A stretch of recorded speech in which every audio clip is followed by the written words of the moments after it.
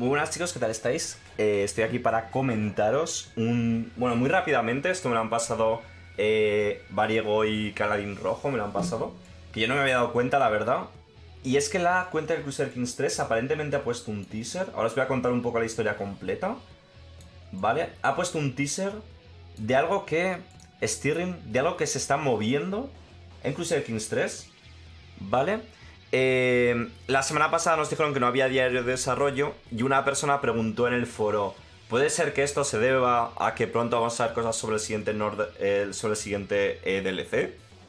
Y le respondió como un desarrollador ese mensaje diciendo en plan, algo así como, aquí es donde las cosas se empiezan a poner eh, exciting, ¿no? En plan, el meme este de Star Wars de Anakin subido a la nave y diciendo, aquí se ponen chulas las cosas o algo así, ¿no?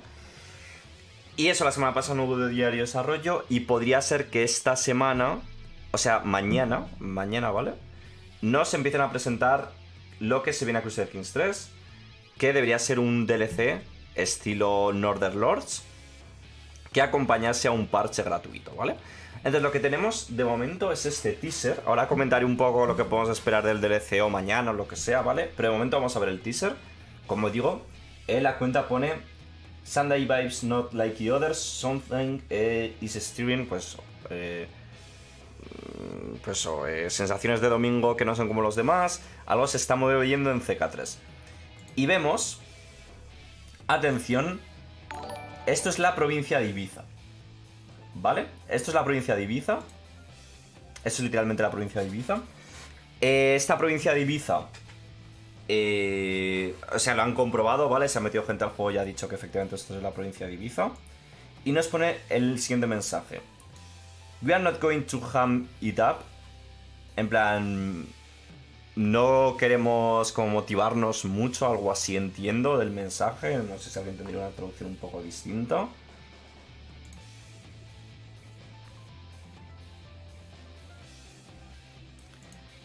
Hay una lucha en estas tierras.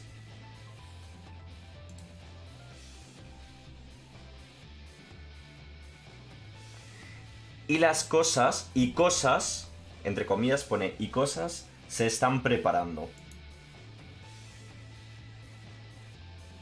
Y empieza la construcción de un edificio.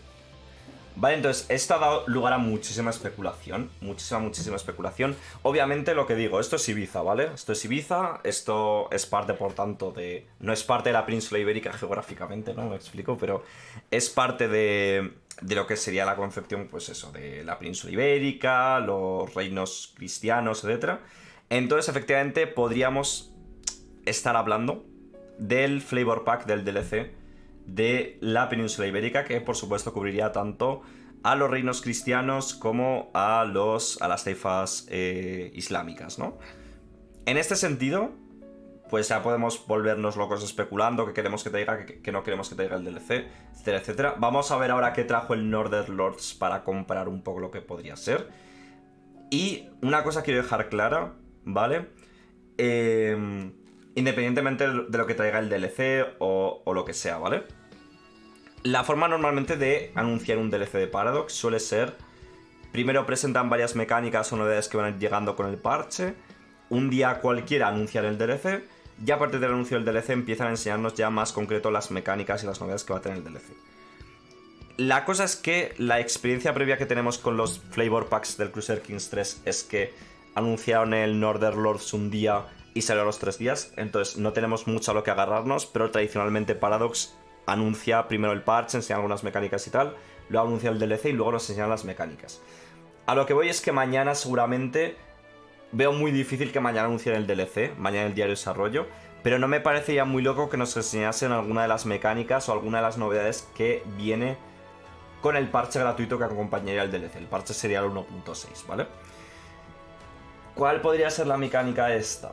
Pues por lo que da a entender, esto es igual un poco calentada. Aquí vemos efectivamente cómo en la baronía esta, que creo que es una fortaleza, ¿no? Pues empieza a mejorarse. Podría dar a entender que tiene que ver con construcciones que, por ejemplo, podrían llegar maravillas al Crusader Kings 3, ¿vale? En esa opinión, cualquier sistema de maravillas que sea inferior al de Imperator Rome me parecería inferior, por tanto. Porque el de las maravillas del Imperator Romés, que era la leche, en plan, era un sistema en el que tú personalizabas tu maravilla en 3D, eh, elegías modificadores que querían que tuviera, tenías que establecer los materiales, traerlos a la provincia, etcétera, etcétera. Pero, o sea, el tema es que depende de muchas cosas que el CK3 no tiene, quizá. Pero bueno, esto ya es especulación un poco loca que introdujese algo así como las maravillas, ¿vale? Por revisar un poco qué trajo el Northern Lords a nivel de, de a nivel eh, cuantitativo, ¿vale? A nivel de cantidad de cosas que, que añadieron.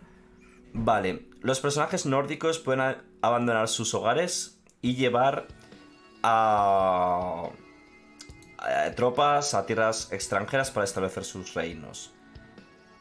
Home Speaking Sicil Maidens, ¿no? O sea, doncellas escuderas, ¿no? Pues eh, soldados que podían tomar las armas por ti y que tenían un poco que ver con romances y tal. No contenido cultural con dos legados dinásticos nuevos, sacrificios nórdicos, juicios por combate, innovaciones culturales, así como nuevos eventos o color adicional, nuevo arte y música, y más como berserkers, misioneros, eh, piedras rúnicas, aventureros varegos, nuevas decisiones y otras cosas, ¿vale? Vale, entonces, ¿qué es lo mínimo que podemos esperar del DLC? Porque yo a nivel mecánico, sinceramente, no sé qué esperarme, ¿vale? Porque muchos diréis, reinos de taifa, repoblación, cosas así, ¿no? Decretos de ciudades reales, ese tipo de cosas que son como típicas de la época de la reconquista o de la guerra, eh, las guerras de religión en, en, la península ibérica. En ese aspecto, pues podemos esperar quizá algún tipo de casus belli nuevo o de interacción quizá para desarrollar condados por el tema de, las repoblaciones, etc. Algo así se me puede ocurrir. Pero como digo, ir a lo concreto me parece un poco absurdo, ¿vale? Aunque ya veremos de qué trata el DLC y todo esto. Todo. Esto es muy especulativo. Lo que sí que podemos esperar, por supuesto, yo creo que es algún tipo de rasgos nuevos o de elementos que tengan que ver con, esta época.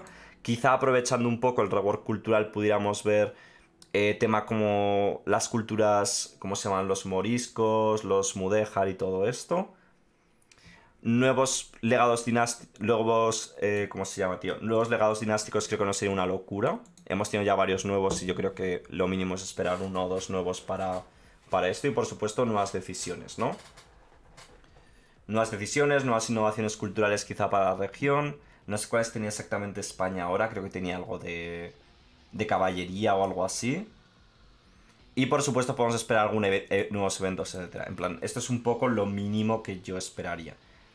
Por supuesto, puede que nada de esto tenga nada que ver con nada, mañana no nos enseñen nada, etc, etc, etc, Pero oye, aquí está el teaser, aquí está la especulación, veremos un poquito en qué acaba consistiendo todo. Obviamente, Ibiza tampoco es el lugar más emblemático de estas fechas, ¿no? Si hubieran puesto, pues yo qué sé, eh, las navas de Tolosa o cualquier cosa así, pues sería, sería otra historia, ¿no? Pero de momento, oye, tenemos material para especular y lo bueno es que no está muy lejos cuando saldremos de dudas. Vamos a salir de dudas mañana. Son las 2, 2 y media de la tarde es cuando publican el diario de desarrollo. Y a ver qué presentan, chicos. Igual no, como digo, igual. Mañana hay diario de desarrollo 100%, eso es lo bueno. Igual nos enseñan el DLC, igual nos enseñan el parche, igual no enseñan nada, igual enseñan alguna mecánica, lo que sea, ¿vale? Pero, oye, ahí está la especulación, ahí está para que pensemos y a ver qué pasa, ¿no? Como vemos aquí Chencho diciendo Ibiza, Ibiza. Eh, development Displaying to Map, eh, Update en console, danos ya el nombre del DLC, mejora para consola, I mean, Iberian Ham, mm, interesante, DLC para el consola, ¿cuándo vais a meter en descuento Royal Court? Bueno, nadie comenta mucho nada, ¿no? Quizá en los foros, quizá en los foros hay algo... Vamos a ver rápidamente los foros, digo, por no cerrar el vídeo ya sin ver otros puntos de vista. Ah, ah, ah, no sé si hay nadie comentando esto, no tiene pinta, ¿no? Igual en Reddit o algo así, pero no tiene pinta que haya mucha gente comentando esto. Poco más, chicos. Eh, a ver si salimos de dudas mañana. Y nos vemos mañana. Chao, chao.